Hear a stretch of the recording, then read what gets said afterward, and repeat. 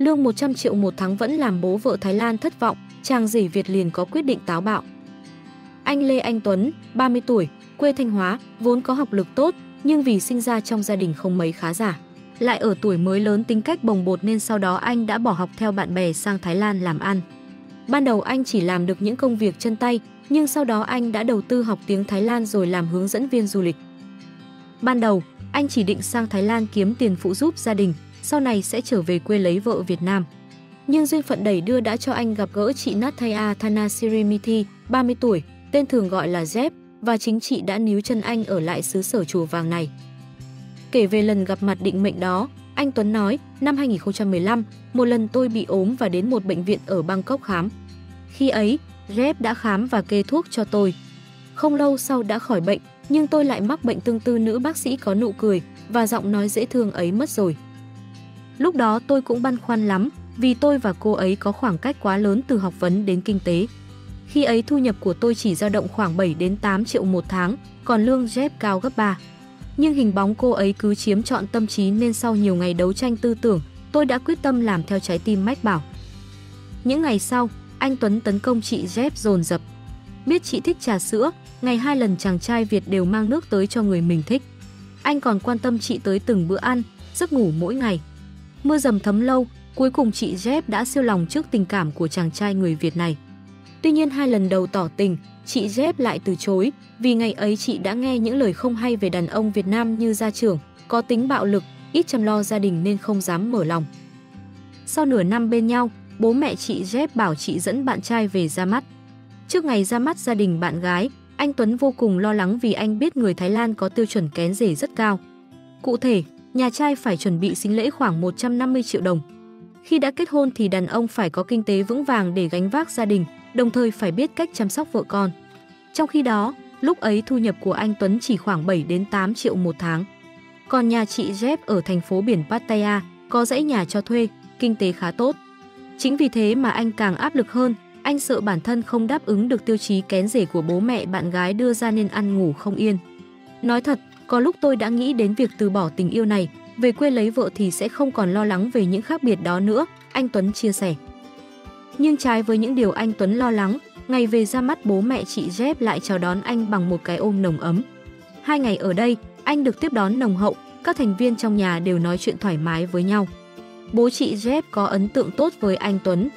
Dù vậy, ông cũng nói rõ với anh rằng nhà có con gái cả ly hôn nên ông không muốn chị Jeff đi vào vết xe đổ của chị gái. Khi ấy bố vợ nói với tôi rằng chồng của Jeff phải là người vừa là trụ cột kinh tế, vừa biết chăm sóc vợ con. Bố cũng sợ sự khác biệt về văn hóa, ngôn ngữ sẽ khiến hai đứa khó tìm được tiếng nói chung. Nhưng chúng tôi đã ra sức thuyết phục, giải thích cho bố hiểu. Sau đó, bố đã dặn dò tôi rằng đàn ông phải có khả năng vượt qua những gì ở hiện tại, chịu thương chịu khó ắt sẽ thành công, anh Tuấn kể lại. Nhờ lời động viên của bố chị Dép, anh Tuấn có thêm động lực để phấn đấu. Thời gian sau, anh chuyển hướng tổ chức tour du lịch chứ không đơn thuần làm hướng dẫn viên như trước.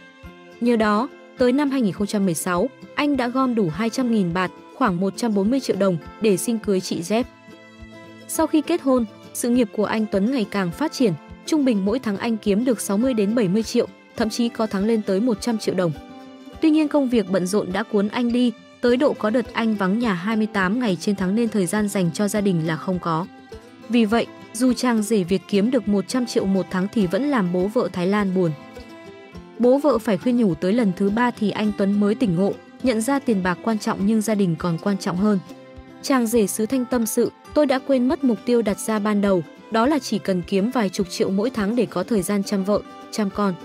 Mãi tới khi bố vợ khuyên lần thứ ba, đúng lúc dịch Covid-19 bùng phát khiến ngàng du lịch bị ảnh hưởng, tôi có nhiều thời gian ở nhà hơn thì tôi mới thấm thía những lời bố vợ nói. Thời còn nghèo, mỗi sáng đi làm tôi đều được vợ dành cho cái ôm hôn thắm thiết. Tốt về, hai vợ chồng cùng cơm nước rồi chơi với con, thật hạnh phúc biết bao. Nhưng bây giờ nhà cao cửa rộng thì không còn bữa cơm gia đình nữa, người ăn trước người ăn sau, vợ chồng nhìn thấy nhau mà rừng rưng như người xa lạ nên tôi bắt đầu thay đổi mình. Thấy chàng rể thay đổi, dành nhiều thời gian cho gia đình nên bố vợ cũng yên tâm hơn. Còn về phía nhà chồng nàng dâu, chị Jeb cũng rất được gia đình anh Tuấn quý mến.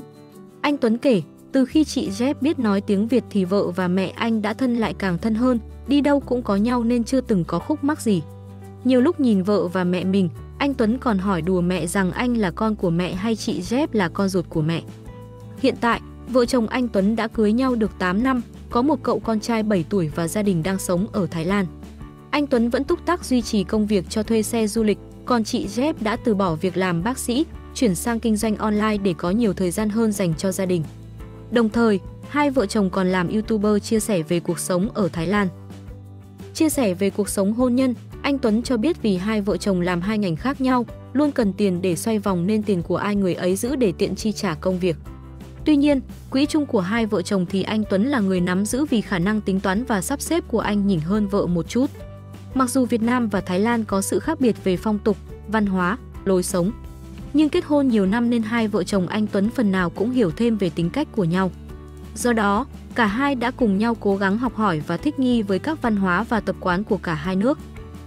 Nghe thì tưởng là khó nhưng thật ra cũng dễ, chỉ cần cân bằng được cả hai bên là ổn thôi.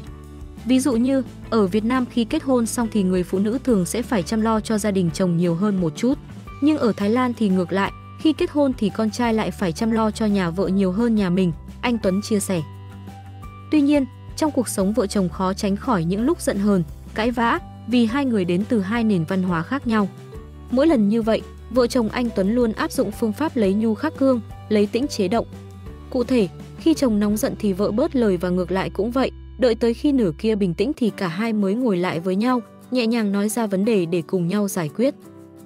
Vợ chồng cãi nhau mà cả hai đều giữ cái tôi của mình, muốn hơn thua với nhau, phân định rõ đúng sai ngay lúc đó thì ắt sẽ cãi nhau to. Vì vậy nếu thấy vợ đang nóng giận thì tôi sẽ bớt lời và ngược lại vợ cũng thế, đợi khi cả hai đã bình tĩnh, nhìn nhận thấu đáo vấn đề mới nói chuyện với nhau. Do đó, sau mỗi cuộc cãi vã chúng tôi lại càng hiểu nhau hơn, anh Tuấn chia sẻ.